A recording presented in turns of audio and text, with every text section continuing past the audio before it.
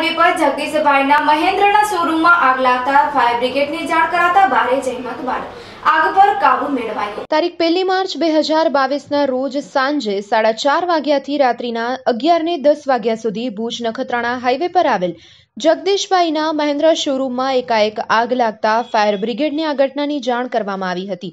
તો ફાયર બ્રિગેડની ટીમને આ ઘટનાની જાણ થતાની સાથે જ ટીમનો કાફલો દોડી ગયો હતો, જેમાં સાવન ગોસ્વામી, રવિરાજ ગઢવી, મહેશ ગોસ્વામી, રફીક ખલીફા અને હિરજીભાઈ ખાબલિયા. તેઓએ ભારે જહેમતથી આગ પર કાબુ મેળવ્યો. આવ્યો હતો અને મળતી માહિતી અનુસાર આ ઘટનામાં કોઈ પ્રકારની જાનહાનિ થઈ ન હતી.